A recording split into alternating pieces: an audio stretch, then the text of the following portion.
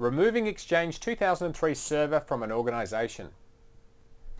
Now even though the primary goal of this video series is to show you how to install and configure Exchange in your environment, there will come a time when you have to remove Exchange 2003 from a server.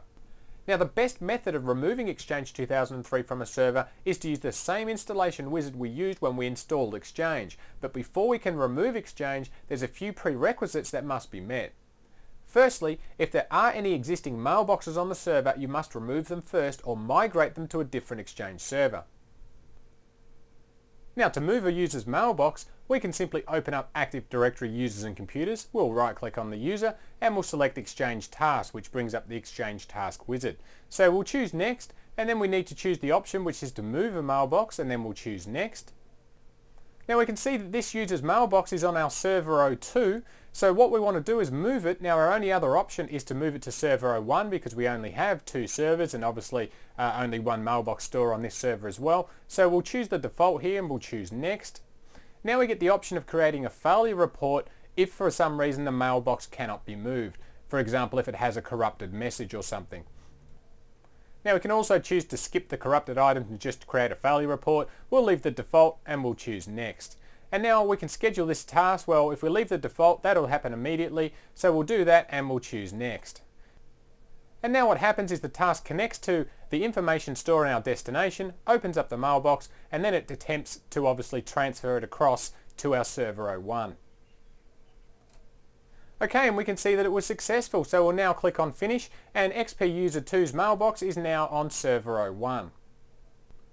Now the next condition that must be met before we can remove Exchange is the server must not be a bridgehead server or a routing group master server. If this server does hold one of these roles, then you have to transfer it to another server before continuing. And finally, the server must not have any connection agreements or have connectors that are currently in use. Now if these prerequisites are met, then we can start the Exchange removal process. Now when we drop our Exchange CD-ROM in the drive, we get the familiar splash screen as we did when we installed Exchange. So we'll come over here again and we'll choose Exchange Deployment Tools. And as we did when we installed our second server, we'll come down here and choose to install Exchange 2003 on additional servers. And this of course brings up a familiar screen that we've seen before. We'll come straight down here to number 7 which is to run the setup now. Okay and this starts up our Exchange installation wizard so we'll click next. Now the wizard's already identified that Microsoft Exchange version 6.5, which is Exchange 2003, has been installed. So what we'll do is we'll come across here, we'll select the drop down box and then we'll select to remove Exchange. Now selecting to remove the parent option of Microsoft Exchange will also remove any sub options that we've installed. So with that in mind, we'll choose next. We'll just get a basic summary about what we're going to do, which is remove basically everything. So we'll choose next and the removal process will begin. Now this will take a while, so I'll pause this video and we'll return once Exchange has been removed. Okay, and we're finished. Exchange has been successfully removed from our server. Now I will point out that things don't always go as planned and there might become a time when you have to forcibly remove Exchange from an organisation. And if this situation occurs, you'll need to perform some additional steps to get rid of Exchange from your server.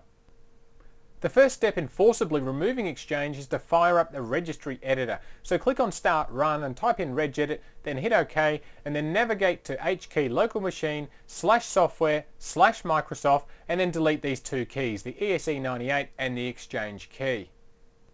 And then navigate to hkey local machine slash system slash current control set slash services and delete the following keys. Now this one here, the MS Exchange with an asterisk after it, that just simply means delete all the subkeys that start with MS Exchange and then have something after it. And that would be things like the MS Exchange MU and the MS Exchange MTA and so on. Now the next step in forcibly removing all traces of Exchange from our server would be if we no longer need the ASP.NET, the NNTP, the SMTP or the web service that we configured as prerequisites when we installed Exchange. You can uninstall them now by clicking on Start, Control Panel add or remove programs, and then come over to add remove Windows components. And then we'll double click on application server and then we can simply uncheck the boxes and the NNT and SMTP as well. Now if you are planning on removing these, don't forget to remove the metabase.bin file that lives inside your System32 directory and that holds metabase information for your IIS configuration.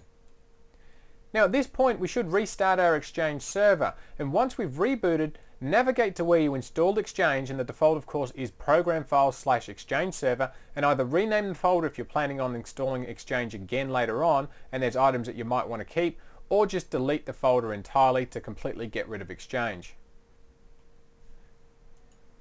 Now the final thing we need to do to forcibly remove Exchange from our organization is to open up the Exchange System Manager on one of our other Exchange servers and navigate over here to where we installed our server. Now we had installed our server under our administrative group of New York and then we had Server 02 listed in here. But as ours completed successfully, we can't see Server 02, so for the sake of the argument, we'll say that Server 01 was our failed deinstallation and we'll right click, we'll select all tasks and then we'll simply select to remove the server. And then we'll have to confirm our decision and then we're done. And now Exchange has been successfully removed from our server and our Exchange organization.